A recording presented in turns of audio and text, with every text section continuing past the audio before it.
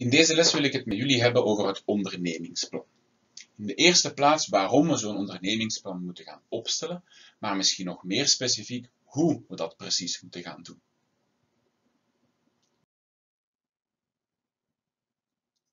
Voor we effectief starten gaan we eens kijken eerst naar de faillissementen in België. We nemen daarvoor het jaar 2019, dat het jaar 2020 misschien een beetje een vreemd jaar was door corona, dus we nemen het jaar 2019 dan zien we dat er 11.817 ondernemingen over kop zijn gegaan. Dat is 10% meer dan het jaar daarvoor.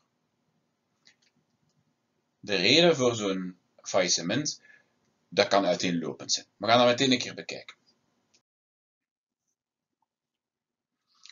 Als we het cirkeldiagram bekijken, dan zien we dat er een 22% van de faillissementen gelinkt kan worden aan wanbeheer. Dat betekent dat de ondernemers slechte keuzes maken, slechte economische keuzes maken en daardoor een faillissement uiteindelijk op hun bord krijgen. Tweede belangrijkste reden is een gebrek aan economische kennis. Dat betekent dat de ondernemer niet precies weet waar hij mee bezig is. Natuurlijk op economisch vlak, als inzichten op financiële kennis, op economische kennis. Dus ook dat kan leiden tot een faillissement. Daarnaast, en dat is hetgeen waar we hier op willen wijzen, is een 14% van de faillissementen te wijten aan een zwak ondernemingsplan. Door het feit dat er geen of een heel slecht ondernemingsplan is opgesteld, kan de onderneming uiteindelijk in de problemen geraken. Dat betekent als we die, die drie onderdelen al eens optellen, dan zien we dat we al meer dan 50% van de faillissementen kunnen verklaren door, laat ons zeggen, economische kennis in het algemeen. Natuurlijk zijn er nog andere factoren die ervoor kunnen zorgen dat een onderneming failliet gaat. Bijvoorbeeld, de vierde factor is wanbetaling van de eigen klanten. Dat is iets dat buiten de onderneming zelf ligt. Daar kan ze zelf relatief weinig aan doen. Wij gaan nu eens onderzoeken wat we dus toch kunnen doen, vooral aan dat ondernemingsplan. Waarom gaan we nu zo'n ondernemingsplan opstellen? Wel, ja, in de eerste plaats om niet failliet te gaan natuurlijk. Hè. Maar met zo'n ondernemingsplan, we stellen dat op om de haalbaarheid van onze onderneming te gaan testen, na te gaan. Wanneer wij op voorhand een ondernemingsplan opstellen, dan denken we al na wat er kan gebeuren met mijn onderneming of waar we naartoe willen. We gaan zo opzoeken of het effectief wel haalbaar is om ons project te starten en blijven verder te zetten. Daarin gaan we kijken naar een value proposition, naar een waardevoorstel. Want de bedoeling is dat we natuurlijk een waarde gaan creëren met onze onderneming. We willen iets bijbrengen aan onze klant, iets toevoegen aan waarde. Daarnaast gaan we bij ons businessplan of bij ons ondernemingsplan ook op zoek naar het luikje financieel plan. We gaan proberen om al die woorden die we in, de, in het ondernemingsplan gaan steken, ook te gaan vertalen in cijfers. En zo hebben we al meteen een zicht een eerste indicatie van onze winstcijfers in de komende jaren. Dat zijn natuurlijk gebudgeteerde cijfers, zijn nog geen realistische cijfers of werkelijke cijfers. Maar het geeft ons wel een eerste indicatie op mogelijke gunstige cijfers, mogelijke goede cijfers om onze onderneming te starten. Hoe gaan we nu zo'n businessplan gaan aanpakken? We gaan eigenlijk vier onderdeeltjes gaan bekijken. En het eerste onderdeel dat we aan kunnen werken is de missie of het mission statement.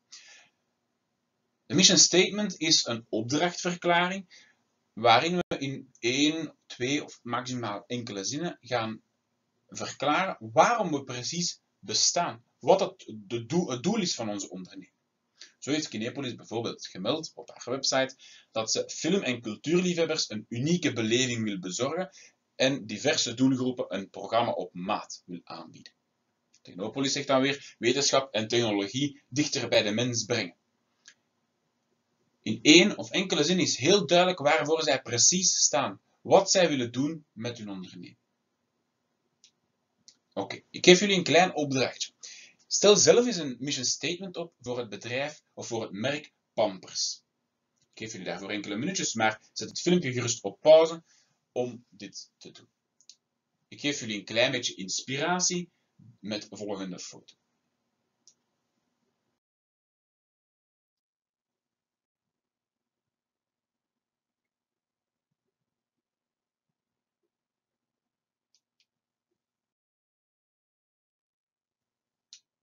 Vergelijk nu jullie eigen mission statement eens met het werkelijke mission statement van het merk Pampers.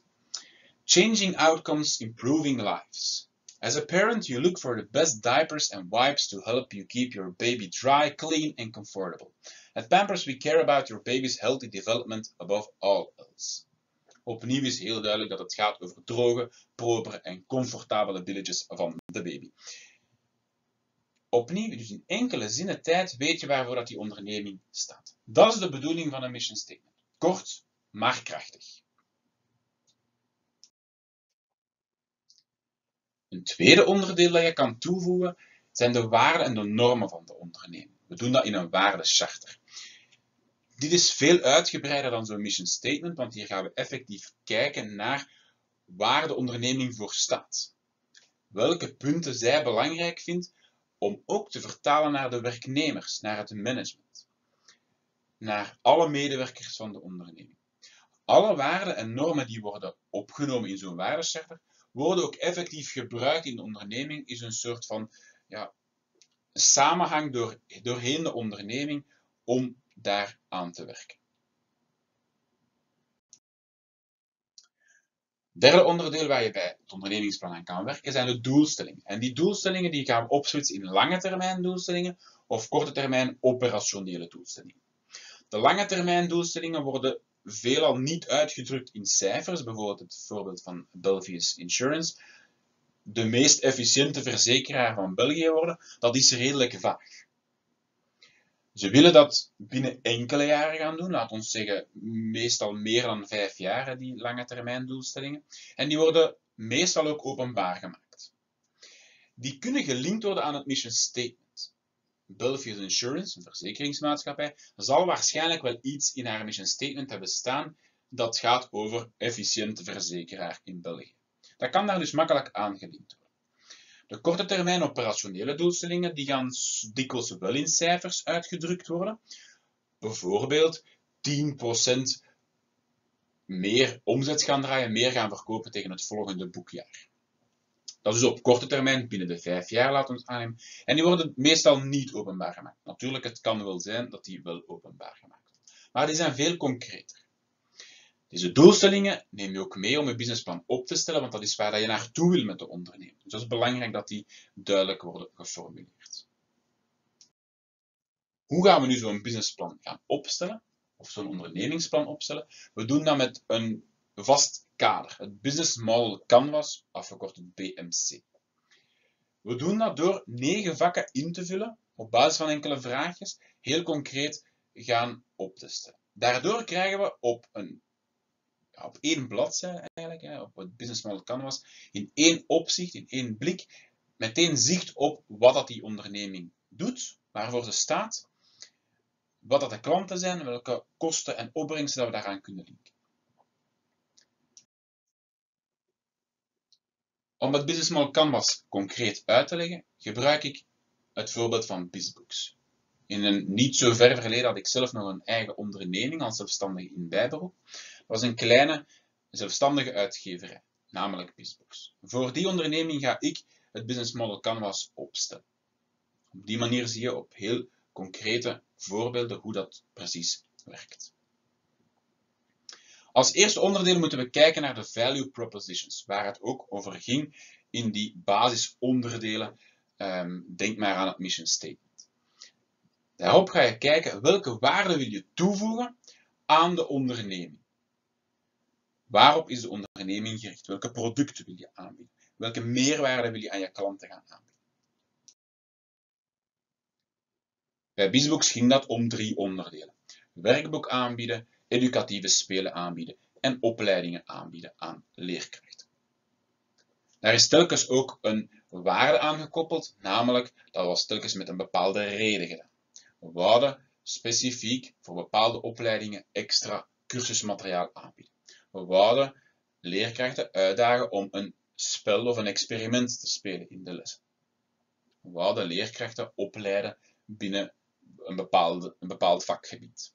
Dat waren de doelstellingen, dat waren de problemen die werden aangepakt via de onderneming. Dat resulteert dan ook in de producten zelf. Het volgende onderdeel, daarvoor gaan we van rechts naar links werken. We starten centraal, maar we gaan dan van rechts naar links werken. Dat zijn onze klantensegmenten. Wie zijn mijn klanten? Wat zijn hun behoeften? Welke klantengroepen zien we? Wat is op zich mijn doelgroep van klant? Bij Bizbooks was dat tweeledig. Er waren twee klantengroepen. Of enerzijds waren dat de leerkrachten, anderzijds waren dat de leerlingen. Ik had leerkrachten die ik ging aanspreken, mijn product ging proberen te verkopen. Uiteindelijk waren het wel deels de leerlingen die een stukje daarvan moesten kopen. Dus ook hen moest ik in principe proberen te overtuigen. Probeer steeds bij een klantengroep niet te veel te specifieren op leeftijd. Probeer mensengroepen te, te selecteren waaraan je wil verkopen. Dus niet zeggen personen van 12 tot 18 jaar, want dat betekent dat je eigenlijk niet gaat focussen op iemand van 19, terwijl dat die perfect dat ook kan aankomen. We zouden kunnen zeggen, alle leerlingen in dit geval en alle leerkrachten die het vak economie volgen of geven. Dat is een hele ruime groep en daarin kan makkelijker geschoven worden. Een volgend segment zijn de channels, de kanalen waaraan waarmee we eigenlijk ons product willen gaan aanbieden. Of via welk eh, kanaal we dat willen gaan aanbieden. Hoe willen we dat gaan doen? Gaan we dat digitaal doen? Gaan we een fysieke winkel hebben? Ook welk imago als onderneming wil je uitstralen? Kan daarbij zitten. Voor Bizbooks was dat alternatief van het digitale heel eenvoudig. We gingen natuurlijk op papier werken, maar we hadden geen fysieke winkel. Alles werd gedaan via webshop of digitaal aangeboden. Dat was een heel eenvoudige keuze, maar ook hier kan je dus het verschil gaan maken tussen fysieke winkel of um, webshop. Natuurlijk moet je ook nadenken hoe dat je producten vanuit de webshop, vanuit de fysieke winkel tot bij de klanten gaan geraken. Komen zij tot bij de winkel? Is er dan parkeerplaats? Ga, ga jij je producten tot bij de klant brengen? Met welk transportmiddel ga je dat? Ga je dat via uh, een postbedrijf gaan doen? Ga je dat via een pakjesbedrijf doen? Ga je dat zelf gaan leveren? Dat zijn allemaal keuzes die hier in dit onderdeel moeten gemaakt worden. Het volgende onderdeel zijn de customer relationships. Je gaat op zoek gaan naar hoe je je klanten ja, kan blijven betrekken bij je onderneming. Hoe, hoe ga je ze vasthouden? In heel veel gevallen gebeurt dat dus via social media. Probeer je klanten vast te houden. Een nieuwsbrief, een Facebook-pagina, Instagram-pagina, Twitter-account, um, TikTok-account misschien zelf ook, waardoor dat je, waarmee dat je je product steeds probeert aan de man te brengen en steeds de aandacht erbij probeert te houden. Misschien kan je samenwerken met een influencer die je product regelmatig gaat gebruiken. Op die manier zorg je ervoor dat de klanten continu zicht hebben op wat je product is. Volgende stap gaan we nu naar de linkerkant van de tabel en dan kijken we naar de key activities. Wat zijn je kernprocessen binnen uw onderneming? We werken op productie, op verkoop. Zit er marketing bij in uw onderneming? Maar ook, hoe ziet een normale week eruit binnen uw onderneming? Wanneer gaat uw winkel open? Wanneer start je met werken? Worden er speciale openingen gedaan? Wanneer vinden de leveringen plaats? Wat gebeurt er onderhoud aan uw onder, in uw onderneming? Voor Bizbooks was dat heel eenvoudig. We werkten van achter de computer. Alles werd van achter de computer gedaan. Zowel de um, bestellingen als het materiaal dat ontwikkeld werd, werd allemaal digitaal ontwikkeld. Uiteraard waren er nog fysieke boeken die verkocht werden, dus die moesten wel ergens opgeslagen worden. We hadden wel ergens een opslagruimte nodig. Het volgende onderdeel zijn de key resources en welke middelen zijn hier nu belangrijk om te gaan werken. Je hebt fysieke middelen, dat betekent effectief um, materieel dat je nodig hebt, een productieruimte bijvoorbeeld. Maar ook intellectuele activiteiten kunnen mogelijk zijn. Een denkproces, het uitwerken van iets, het uittekenen van iets. Het menselijke ehm, proces kan hier van belang zijn ook. De menselijke middelen hebben we arbeiders nodig die iets gaan doen, hebben we bedienden nodig die iets gaan uitvoeren. En dan ook nog de financiële middelen. Moet er geld zijn om onze onderneming op te starten? Kan dat een eerste indicatie zijn om aan het financiële plan te beginnen? Zijn er leningen nodig? Zijn er aandelers nodig die geld gaan geven? Bij Bizbooks was het opnieuw heel duidelijk. Er was eigenlijk heel weinig nodig, enkel het intellectuele, we moesten gaan, dingen gaan uitdenken. Er waren geen arbeiders die moesten gaan produceren. Er moest enkel materiaal uitgewerkt worden. Al de rest werd in principe uitbesteed. En uitbesteden, dat doen we aan onze key partners. Met wie gaan we samenwerken? Wie is brood nodig voor onze onderneming om onze werking volledig uit te bouwen? Wel, voor het cursusmateriaal had ik vooral een, een drukkerij nodig, een printmaatschappij nodig, in dit geval Grafica. En voor het digitale had ik een digitaal platform nodig om mijn materiaal aan de man te brengen. Dat was Capiche. Dat zijn mijn twee belangrijkste partners geweest, want die hebben effectief ervoor gezorgd dat mijn materiaal op de markt kon komen. Daarnaast heb je nog wel andere partners nodig die je meer gaan ondersteunen in je onderneming. Bijvoorbeeld een bank, een verzekeringsmaatschappij, een ondernemingsloket. Een onderneming die gaat zorgen voor uh, marketingmateriaal, voor uh, presentatiemateriaal. Dat zijn allemaal ondersteunende ondernemingen die ook partners zijn. Dus je kan als onderneming nooit werken met één onderneming, met één partner. Je gaat altijd meerdere hebben om je te ondersteunen. Net zoals, want hier staan natuurlijk ook niet alle partners op, maar net zoals een um, pakjesbedrijf, Bpost, DHL uh, enzovoort, die gaan zorgen voor de verspreiding van de producten. Ook die tellen mee als zijnde partners. Daarom is er geen partnership afgesproken, geen contract tussen beiden misschien, maar die dienen eigenlijk wel als leverancier, dus die mogen als een soort van partner gezien worden. De twee volgende onderdelen zijn eigenlijk de moeilijkste om op te stellen. De kostenstructuur en de opbrengstenstructuur. De kostenstructuur, daar moeten we eerst natuurlijk gaan kijken naar welke kosten we allemaal zouden kunnen maken. En dan moeten we al misschien eens het onderscheid maken tussen vaste kosten, variabele kosten bijvoorbeeld. Vaste kosten die zijn er sowieso, of ik nu ga produceren, ga verkopen of niet, die zijn er sowieso. Mijn variabele kosten die hangen af van de producten die ik opstel, die ik maak.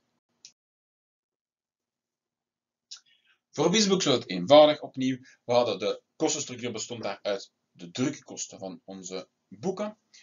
Het reclame, de reclame gaan maken, ons zichtbaar maken bij scholen, bij leerlingen was belangrijk. We hadden natuurlijk ook uh, verzekeringen die liepen. Um, we werkten heel af en toe met studenten, dus die moesten uiteraard ook betaald worden. En onze vervoerskosten waren een van de belangrijkere kosten hier. Omdat heel veel werd verzonden via post, maar soms ook geleverd. Dus door een eigen levering te gaan doen. Dat zijn de hoofdkosten. Uiteraard kan je hier zoveel in detail gaan als je wil, maar de details zijn in principe bedoeld voor in het financieel plan. Hier is het in een eerste indicatie eens nadenken hoe dat uw kosten zouden kunnen lopen. De belangrijkste kosten gaan opzommen. En dan proberen om concrete getallen daarbij te plaatsen, wat niet altijd eenvoudig is. Dat brengt ons meteen tot het laatste onderdeel, de revenue streams of de opbrengstenstromen. En die zijn ook niet zo eenvoudig om op te stellen. Want daarbij moeten we gaan nadenken wat onze verkoopprijs gaat zijn. En een verkoopprijs bepalen, daarvoor moet je eerst de duidelijke kostprijs kennen om een winstmarge gaan toe te passen. Dat is dus helemaal niet eenvoudig. We willen wel in het business model canvas al eens nadenken over een mogelijke verkoopprijs. Een indicatie dat we gaan. Is dat niet mogelijk, dan gaan we kijken naar de winstmarge die we zouden willen maken op onze producten.